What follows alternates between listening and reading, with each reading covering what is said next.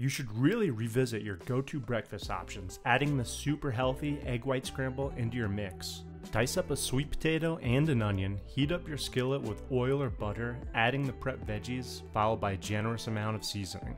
Pro tip is to add in some water and cover it for a while to let it all steam up together. This is going to speed up the cooking process and make the potatoes that much more tender. Lower your heat or shut off your burner altogether before adding in your egg whites. These eggs go perfect in a healthy breakfast burrito, which I teach on my Hellman's Kitchen YouTube channel.